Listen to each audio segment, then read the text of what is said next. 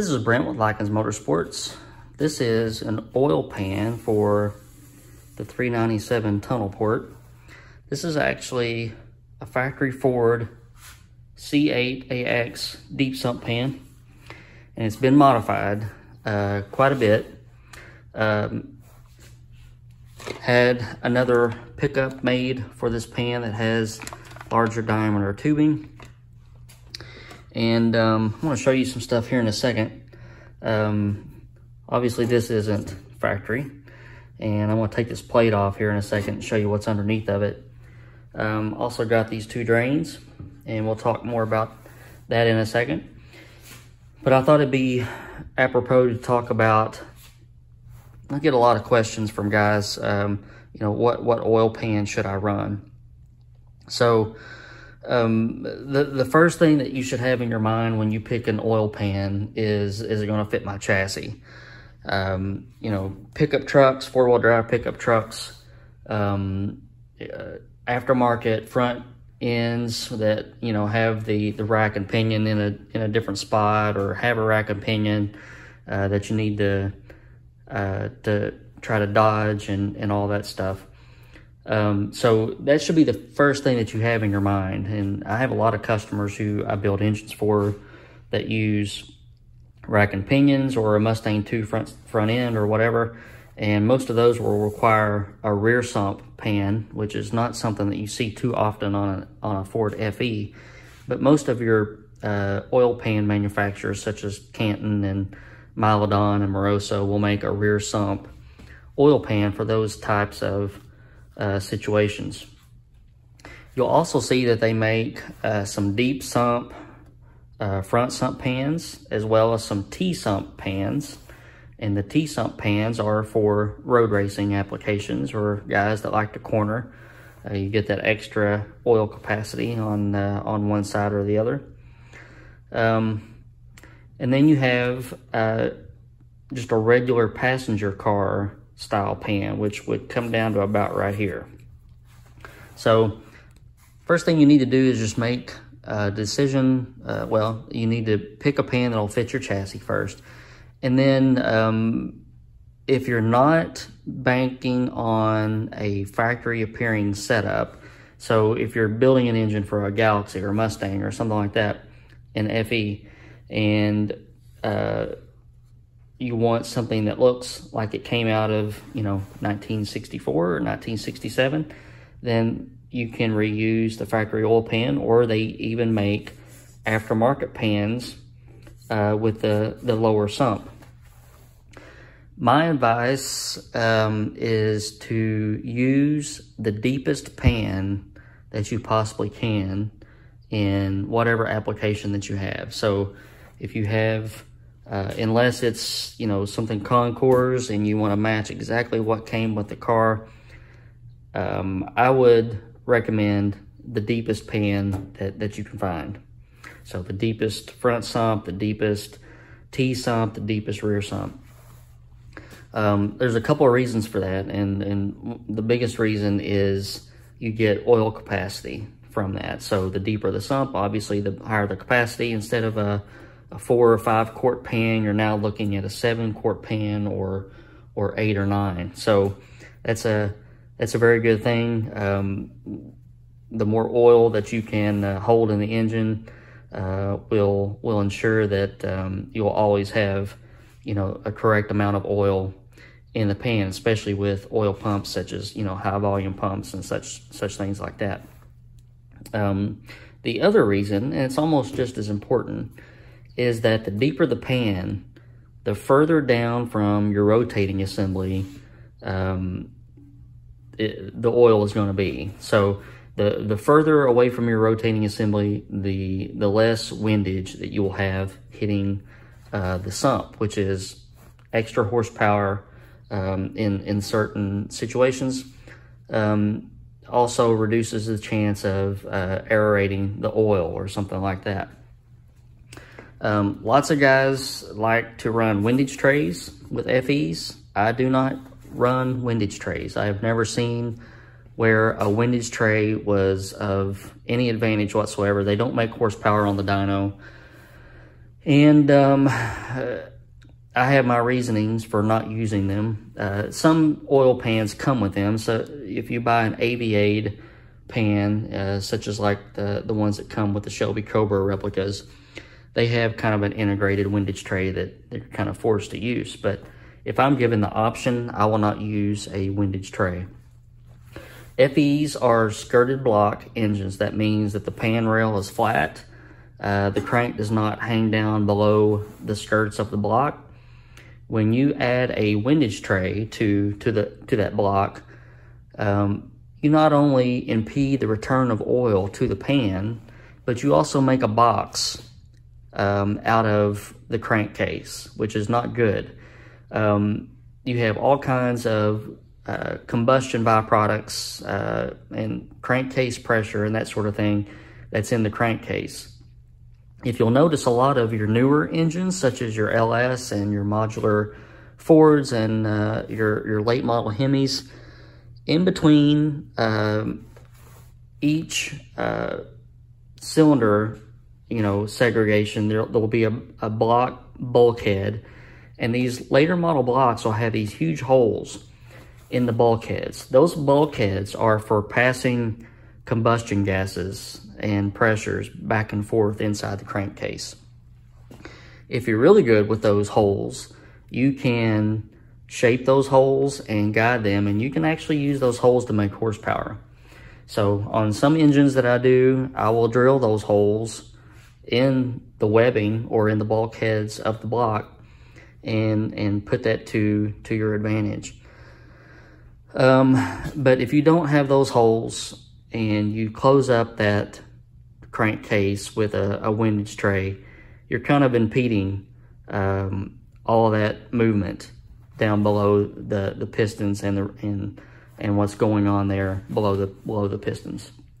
So I don't run windage trays, and uh, I've got some good buddies that uh, build a lot of Mopar, uh, you know, uh, super stock motors, pulling truck motors, things like that. And your uh, RB Mopar blocks are skirted blocks, just like an FE, and um, these guys don't use windage trays either. So my advice, deepest pan that you can use, no windage tray, and um, you'll you'll have a, uh, a recipe for success there. So this is my C8AX pan. I'm gonna pull this tray out of here and uh, I'm gonna do that for a couple of reasons. One is I wanna make sure everything is clean, but the second reason is I wanna show you what all's going on below this tray right here. All right, we've got our tray removed and um, you'll see now that we have these trapdoor additions inside the pan and uh, this is something that I had added. Here's where the factory baffles were in this pan, and um, this will be a lot more effective. Our pickup will set down inside of that, and uh, these trays, or these trap doors, work to keep oil near the pickup, which is good in acceleration or deceleration or, or cornering. So um, I have these added to a lot of the factory style pans that I do. So if you remember uh, JJ, the 352, uh, the very first iteration of that engine was a factory style pan. Uh, so it was a, a, short sump and I had all these oil control baffles added to that. And that is something that you can do to any factory pan. Um, I'll give credit to where credit is due. All this work was done by Kevko, K-E-V-K-O in Minnesota. They do a lot of my oil pan work. They are fabulous guys to work with. Um, pretty much anything I ask them to do, they do it, and I'll send them stuff like this and say, hey, knock this out for me, and, and they'll do it. Uh, they custom make these pickups, and uh, just, just excellent work. So I would highly recommend that you, uh, if you have some needs in the future, to, to hit those guys up. Um, let's get to the drains. If you remember uh, from last week's video on the cylinder head assembly, I had a, a cylinder head drain on each head. Both of those lines will return to these fittings here. I will add um, some of these uh, pipe to AN fittings and we'll screw those in in the pan after it's painted and, and looks nice. But if you'll notice, the both drains are on one side. And if you're wondering why I did that, it's because of those crankcase movement in inside. Uh, all this stuff that's below the pistons coming around in the crankcase. Um, if uh, in a lot of situations, if you have one of these drains on the passenger side, the crankshaft is turning clockwise and if you put the drains on this side, it'll almost help uh, that drain movement. If you put one of them on this side, a lot of the times you'll get uh, to the point where this side will not drain uh, because you're pushing uh, air pressure, gas, whatever you want to call it, back up and up your drain line into your cylinder head. So you don't get a good drain that way.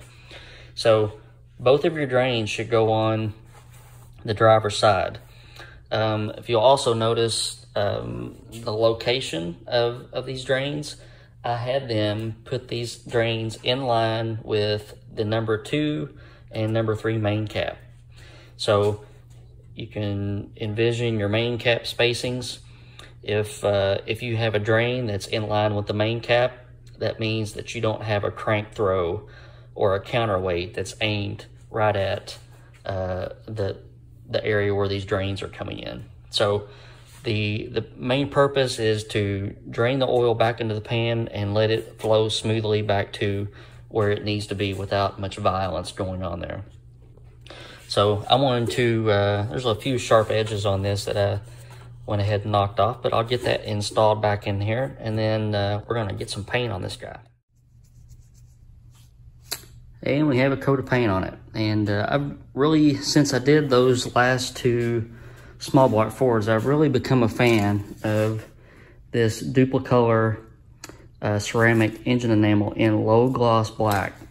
Uh, it just has that 60s appearance to it for me. So um, I just, I left the old dings in here just because that's history to me. Uh, there's no telling, you know, what kind of stories that oil pan could tell. So it's got a few dings and marks in it, but that's okay. So we're gonna let that paint cure for a while. I'll get my drain fittings installed. And then um, since it's all painted and clean, I will uh, put a couple of bolts in it and affix it to the bottom of the engine and we'll just sit here and wait until our crank gets in. All right, guys, thank you for uh, watching this. I hope uh, maybe that helps you make some decisions on what kind of oil pan you're going to buy for your engine. Um, go as deep as you can, always, um, and get that windage away from, from the oil, but don't make a box out of your crankcase. That's what it all boils down to. Uh, hit that subscribe button if you haven't already, and uh, got some cool things coming that you don't want to miss out, especially uh, this flat plane 397 tunnel port. Uh, this is going to be an engine with a lot of uh, quirks, I will say. Uh, not only is it a tunnel port 427, but it's a tunnel port 427 that's been de-stroked to 397. So we're going to have a small displacement. We're going to have a billet flat tappet camshaft with DLC coated lifters, uh, an enclosed cam tunnel, flat plane crank, aluminum rods. So you're not gonna wanna miss out on any of this stuff. Uh, we've got springs and retainers and locators coming for the FE power heads that we will be assembling on video here shortly. And uh, if everything goes to plan, stay tuned this weekend for our interview with Jay Brown, the designer of uh, a lot of products for the Ford FE, including the intake adapters and water pump electric water pump adapters, uh, and these new cylinder heads that'll be uh, a welcome for, for the FE market. All right, guys, hope you're having a good Wednesday. Take care, and I'll see you soon.